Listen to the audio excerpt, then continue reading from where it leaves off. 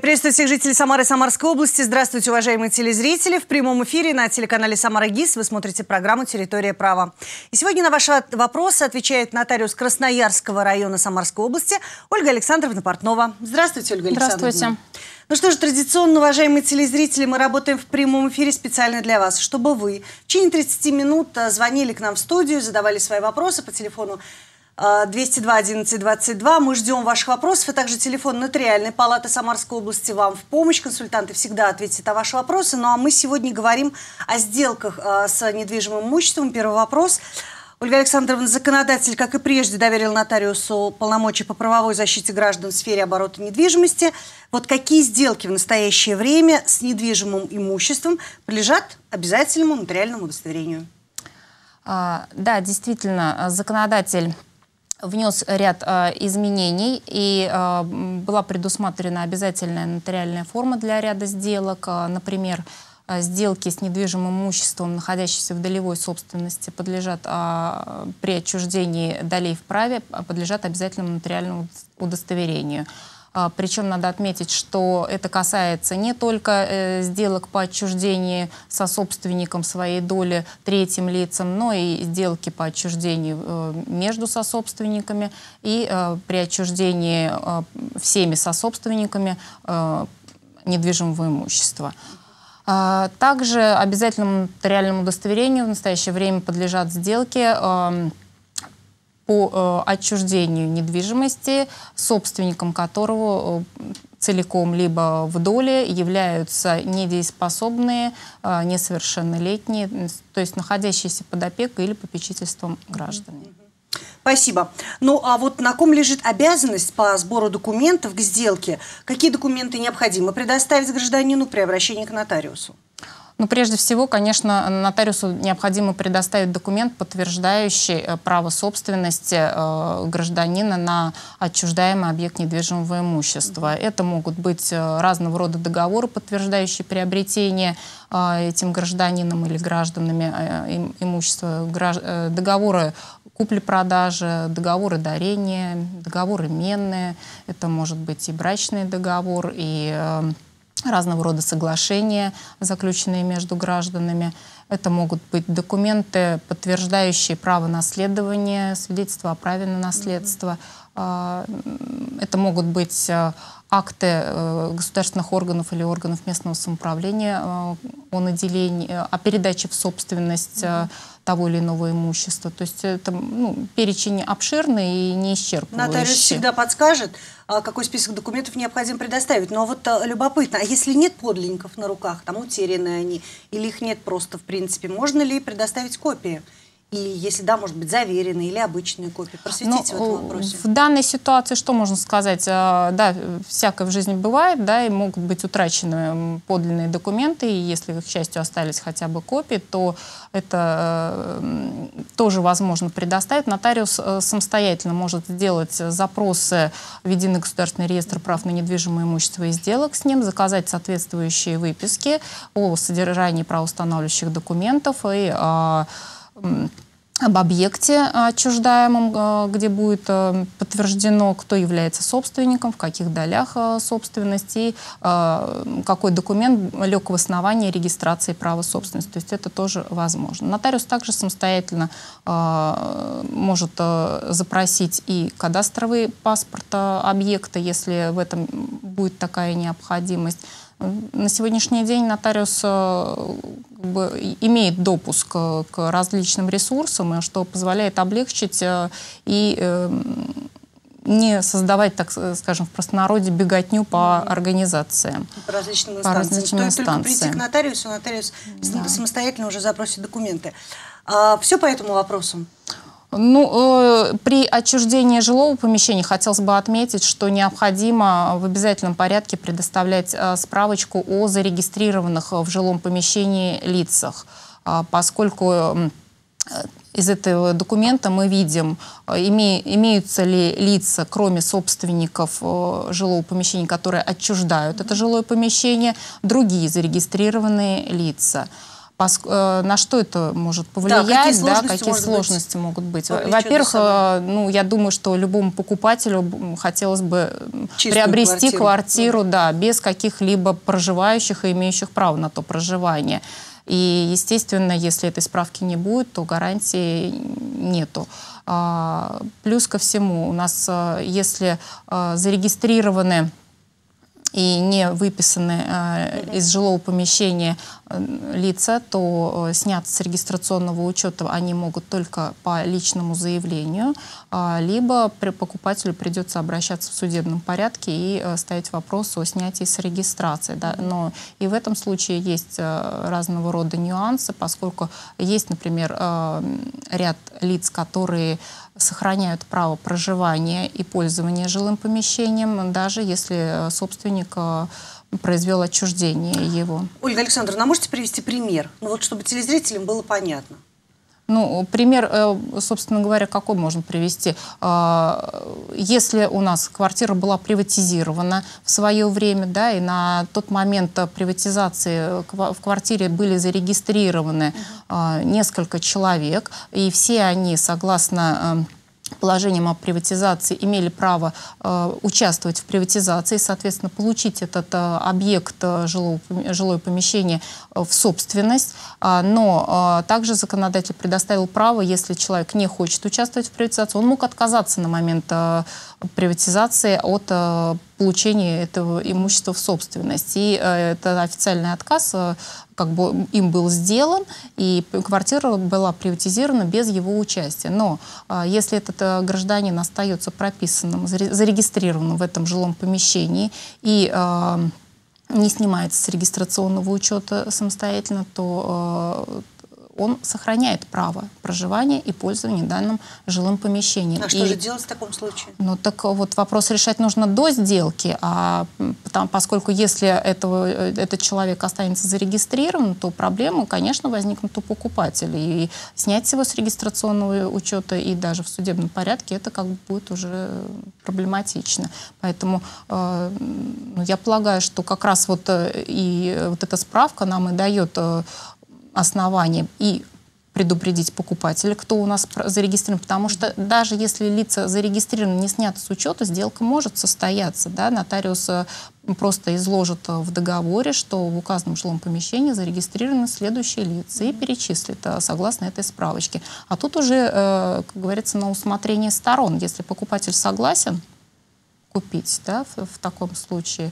Могут э, ведь остаться и э, зарегистрированные лица, которых уже нет в живых. Такие тоже бывают э, ситуации. Тоже. Вот, вы знаете, я вспомнила как раз вопрос, который на одной из программ нашего прямого эфира «Территория права» задавали телезритель о том, что осталось завещание квартиры, да, допустим, проживают лица, и в завещании было написано, что данный человек имеет право пожизненного пользования и проживания. Вот здесь как быть с такими объектами?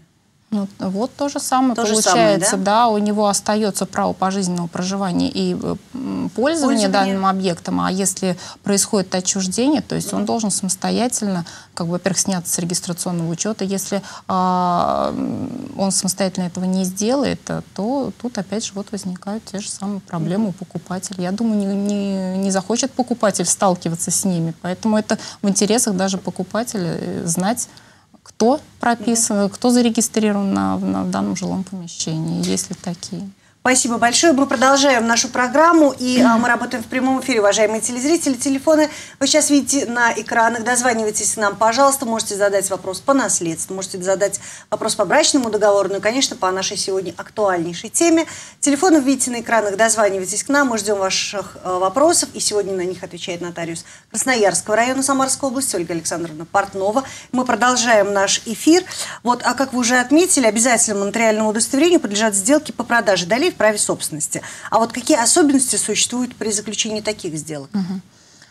А, ну, во-первых, здесь, естественно, мы не должны забывать по, про право а, преимущественного приобретения а, со собственником. То есть это статья 250 Гражданского кодекса, которая предусматривает, что если а, один из сособственников отчуждает а, принадлежащую ему долю третьему лицу, то есть а, лицам не из числа сособственников, то а, у сособственников есть право преимущественного приобретения на тех же условиях, на которых предложено это имущество к продаже.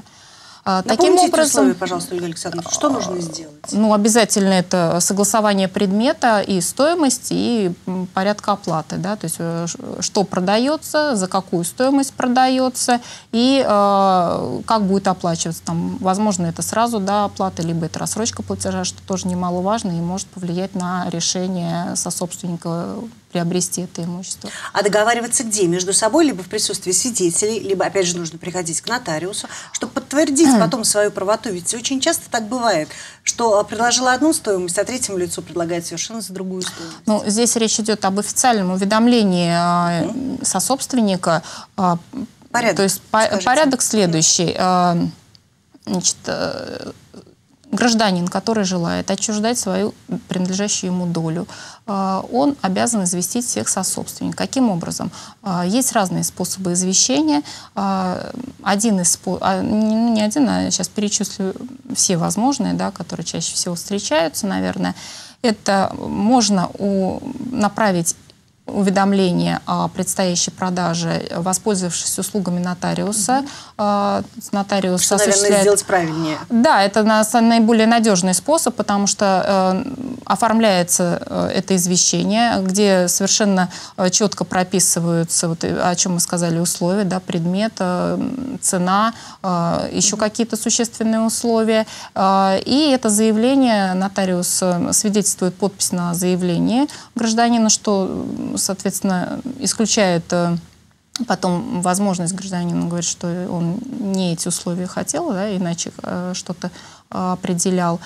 Далее нотариус сам передает это документ сособственнику по указанному адресу, который предъявляет ему гражданин. То есть, естественно, нотариус сам не, не, знает, куда передавать, передает по указанному адресу.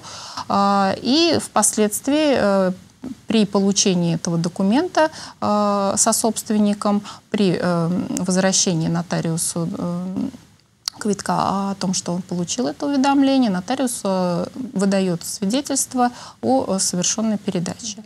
И уже это свидетельство является подтверждением э, к сделке, что был надлежащим образом извещен со собственником. А, второй способ извещения – это можно известить самостоятельно, а, тоже также изложить на грамотно изложить на э, просто листке бумаги угу. свои условия и э, почтовым отправлением заказным с обратным уведомлением, обязательно с описью вложения, чтобы было отражено в описи, какой же документ все-таки вложили в конверт, что это не пустой лист был, да, или не какое-то там рекламное а, брошюра, что это было именно заявление, о, э, извещение об предстоящей продаже, отправить адресату, да, получить обратный э, квиток о том, что доставлено это уведомление, получено лично э, гражданином со собственником, и вот этот документ, уже вот этот вот набор само извещение, вот эта отправка предъявляется нотариусу. Можно уведомить э, с помощью телеграммы, то есть у нотариуса оформляется то есть заявление. В любом случае личное а, передачу Ли, должно э, лицо, которому это адресовано, должен лично получить этот документ. Э, и э, немаловажно отметить, что э, адрес, куда направляется, куда направляется это извещение, это должно быть э, официальное э, место регистрации э, гражданина, а не просто где-то он проживает, проживает. или знает место пребывания. Потому что только по официальному месту регистрации документ считается доставленным, и независимо от того, получил он лично его или не получил, он будет считаться надлежащим образом извещен. А после того, как известили э, гражданина, должно, э, и он получил это э, извещение, корреспонденцию, должно пройти 30 дней. То есть законодатель устанавливает, что возможность заключения сделки по истечении 30-дневного срока с момента получения. А, если у нас сособственник или сособственники могут прийти к нотариусу и оформить отказ от преимущественного права приобретения, то это значительно может сократить сроки, то есть э, не необходимости впоследствии 30 дней ждать. То есть как только будут собраны все отказы от сособственников, э, сделка может быть совершена. Спасибо большое за исчерпывающий ответ. Продолжим обязательно. У нас есть звонок. На линии мы слушаем вас внимательно. Здравствуйте, говорите. Здравствуйте. Добрый вечер. У меня такой вопрос, не знаю, к вам, скорее всего. У меня сын приобрел квартиру в ипотеку. Половину взнос он внес, половину будет сейчас выплачивать ипотеку. У него тут дело идет к свадьбе. Будет ли его супруга иметь право на какую-то долю в этой квартире?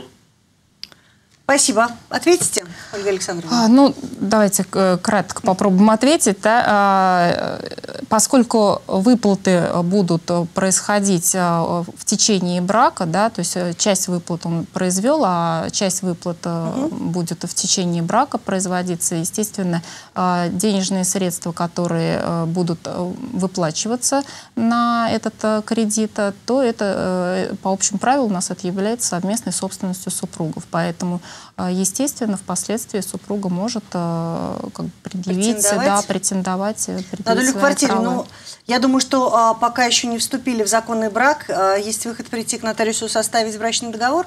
Расскажите, вот посоветовали ли вы в данном случае составить этот документ? Если не хотят, чтобы претендовала будущая супруга. Дело в том, что, э, опять же, э, мы говорим сейчас о, не только об имуществе. Да, имущество приобретено до брака. Сам факт да. приобретения, он случился до брака. Но выплаты происходят в течение брака, и вот эти обязательственные отношения, которые с банком заключены, они заключены э, с супругом. То есть он обязан выплачивать эти денежные средства. Э, но поскольку денежные средства будут совместные тратиться, то ну, здесь еще и нужно будет, если на супруга все оформлять, ну, Наверное, да, можно подумать о составлении брачного договора заранее, как-то этот вопрос обговорить. Ну да, здесь уже лично э, к нотариусу с документами, и уже на консультацию да. нужно смотреть, как... Надо смотреть, как оформлен. Вы да, все как... время говорите, что да. нужно всегда Конечно, документы. документы необходимо смотреть. И время э, исполнения обязательств, угу. да, и время заключения договора, как дальше да. будет. Спасибо большое. А есть еще звонок, я предлагаю его принять. Алло, говорите, добрый вечер вам. Алло, добрый вечер. Слушаем вопрос. У меня такой вопрос. Я хочу... А у меня в собственности квартира. Я хочу подарить одну вторую. Ее нужно реально заверять, договор дарения? Да. Спасибо. Да, нужно. Что нужно для этого сделать? Обратиться к нотариусу с э, пакетом документов, э, о чем я сказала, в общем-то, какой пакет особо тут угу. э, только у нас документ, подтверждающий право собственности, нужно предъявить справочку о том, кто зарегистрирован в данном жилом помещении. Все. И прийти и к прийти. любому нотариусу, либо к нотариусу по месту жительства и прописки. Нет, к любому нотариусу можно обратиться. Спасибо. А, продолжаем прямой эфир. А есть время у нас еще для ваших вопросов, уважаемые телезрители. Дозванивайтесь. Телефон увидите на экран. И, ну и, конечно, телефон Нотариальной палаты Самарской области, где всегда консультанты ответят на а, любые ваши вопросы, связанные с нотариальной деятельностью. Ольга Александровна, требуется ли согласие супруга на заключение сделок с недвижимостью? Да, требуется. У нас статья 35 Семейного кодекса говорит о том, что для заключения одним из супругов э, сделки по распоряжению с недвижимым имуществом, права на которые подлежат обязательной государственной регистрации, э, сделки, для которой законом установлена обязательная нотариальная форма или сделки, подлежащие обязательной государственной регистрации, необходимо получить нотариально удостоверенное согласие супруга. Поэтому, да, согласие требуется, причем, если эта сделка подлежит обязательному нотариальному удостоверению, согласие требуется как на продажу, ну, так и на покупку требуется тоже обязательно. Его а, нужно и можно делать единожды? А, вы можете на какой-то сделать... определенный объект, с, либо... Э, срока у этого да. документа как такового нету. А, делается оно либо на определенный объект, либо на ряд объектов. Естественно, если это будет несколько объектов, э, а сделка только с одним сегодня, да, то, естественно, вы этим согласием можете впоследствии воспользоваться для совершения сделки с другим объектом, который в этом согласии указано. А, собственно, да. Спасибо. Принимаем следующий звонок. Алло, у нас а, есть телезритель на линии, мы вас внимательно слушаем. Алло. Алло, здравствуйте. Здравствуйте. Здравствуйте. Скажите, пожалуйста, у меня такой вопрос. У меня умерла мама и оставила наследство моей сестре. И сестра оформила, но прошло 6 лет, и вдруг я узнаю, что одна восьмая часть наследования принадлежит мне. Как, куда мне обратиться, где документы оформить, как доказательства эти найти? Не совсем понятно, как выяснилось. Не отключайтесь, пожалуйста. А как выяснилось, да, Почему что одна восьмая доля одна принадлежит? Ну, выяснилось, позвонила сестра. А сестра скрыла И сказала, что она переоформляет договора с Горгаз, Горсвет. И надо мое согласие подписать в этих договорах иначе ей не оформят, отрежут газ и свет. И поэтому мне пришлось ей послать данные паспорта. Ну, теперь как мне быть? Она говорит, да, действительно, на тебя есть. Ну, понятно. В данном случае я бы э, рекомендовала, наверное, обратиться непосредственно к тому нотариусу, у которого э, было заведено наследственное дело после э, умершей мамы, и э, там уже не, ознакомиться с тем, э, какие есть мне непонятно, было ли завещание mm-hmm. или, может быть, было там фактическое вступление в наследство, потому что у нас, э, если гражданин э, зарегистрирован на момент смерти э, с умершим и не даже если он не обратился и не подал он заявление о принятии да? наследства, да, он считается фактически принявшим наследство. И в этой ситуации также нотариус э, по справке о зарегистрированных э, лицах, то есть э, видит, э, и если он видит, что есть э, лицо из числа наследников, то он оставит ему долю. И, естественно, пока наследник сам не обратится, эта доля будет э, не оформленная, но, э, тем не менее, иметь своего хозяина, да, то есть э, будет ждать, пока э, наконец-то гражданин придет и оформит свои права. Но здесь а пропущенного срока в данном случае для телезрительницы существует или нет? Если там было фактическое принятие, если она была зарегистрирована на день смерти со своей мамой, э, то нет. Нет. Да, то она, ей пода, подойти к нотариусу, то есть выяснить, во-первых, у какого нотариуса э, сестра открыла наследственное дело, то есть либо через сестру, либо там можно это выяснить и э, самостоятельно, обратившись к любому нотариусу. То есть, у нас есть единая база э, наследственных дел, поэтому мы можем э, оперативно выяснить, открыто ли дело и у какого нотариуса, и, соответственно, гражданина направить непосредственно в нужное ему место. Вот, Тоже очень, уже... вот к этому же вопросу очень часто задаваемый вопрос, факт, факт скрытия э, наследников. Нотариус обязан ли оповещать наследников, что у них есть наследство, если, допустим, было завещание? Угу. А, ну, естественно, нотари... если нотариусу стали известны э, факты о том, что есть другие наследники э, по закону, либо по завещанию, и есть... Э, информация о месте их проживания, пребывания, регистрации, то нотариус э, направляет извещение об открывшемся наследственном деле. А, также э, есть э, информация, можно воспользоваться информационной системой и попробовать найти информацию в интернете, потому что у нас сейчас также, как уже сказала, есть единая база, где есть такие маркировки, да, заводится наследственное дело и делается розыск наследника. И, соответственно, если наследника обнаружат, что умер гражданин, да, то есть он может уже обратиться к нотариусу. То есть информация это доступна? Ну, да, можно воспользоваться. -hmm. Или также пойти самостоятельно, да, обратиться к любому нотариусу, и, э, если он узнал да, какую-то информацию, и дальше уже таким образом. Дело в том, что если нотариус не знает о наличии наследников, он не сможет их, конечно же, конечно. разыскать. То есть тут уже... Ну, это уже логично. Да, но здесь э, при открытии любого наследственного дела, при обращении наследника нотариус беседует и в, в беседе выявляет да, наличие потенциальных наследников. Спасибо большое, Ольга Александровна. А, мы принимаем еще один звонок. Мы слушаем вас. Здравствуйте, говорите. Говорите, алло, вы в эфире. А, здравствуйте. Добрый. Здравствуйте. Вот э, я состою в браке, Дальше слушаем ваш вопрос. и мама э, подарила мне квартиру. То есть есть квартира, оформленная на меня. Так, А, могу ли я продать ее в браке без разрешения супруга? спасибо.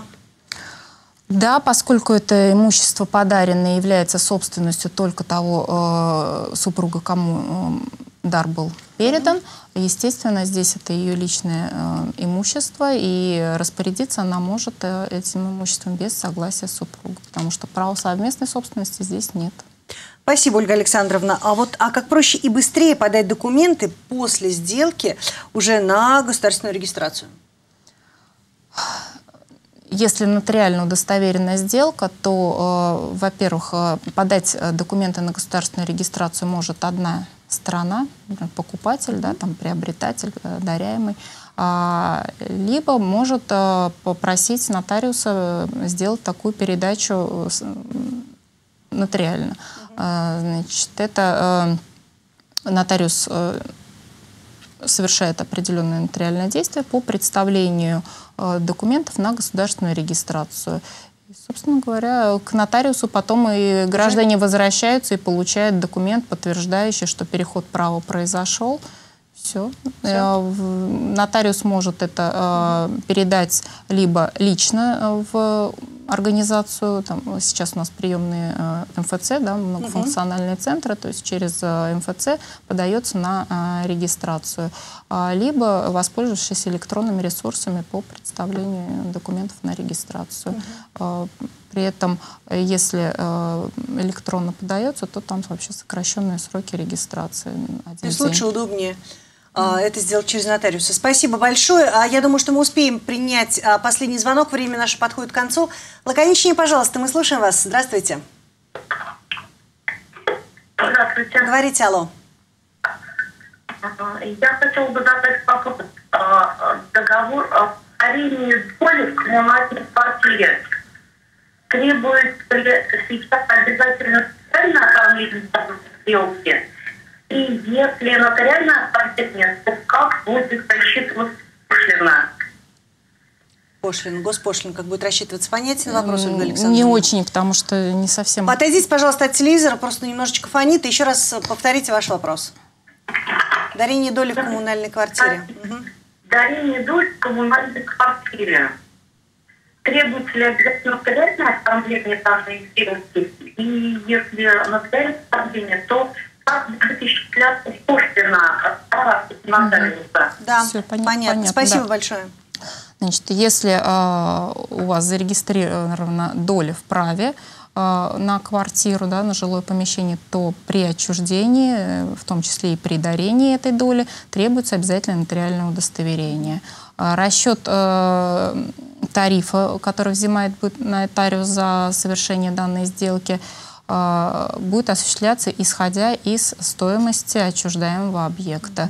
Э, Стороны вправе самостоятельно указать стоимость, во сколько они оценивают данный объект. Но также заказывается кадастровая стоимость. Нотариус это делает самостоятельно. э, Стоимость целиком объекта квартиры и высчитывается стоимость э, доли отчуждаемой. И э, исходя из э, той стоимости, которую гражданин указал, и кадастровой стоимости будет э, рассчитываться тариф. То есть тариф будет браться, если э, гражданин указал стоимость, превышающую кадастровую, то, соответственно, с той стоимости, которую указал гражданин. Если кадастровая превышает, то с кадастровой стоимости. Ну что же, спасибо вам большое, Ольга Александровна. Время наше подошло к концу. Я благодарю всех участников а, нашего телевизионного эфира, программы «Территория права». Смотрите нас, следите за анонсами на телеканале «Самара ГИС». Мы обязательно встретимся в прямом эфире и обязательно послушаем все ваши вопросы на сегодня. Отвечала на ваши вопросы нотариус Красноярского района Самарской области Ольга Александровна Портнова. Спасибо вам большое. Спасибо вам. Спасибо всем тем, Спасибо кто был сегодня с зрителям. нами. Всего доброго. До свидания.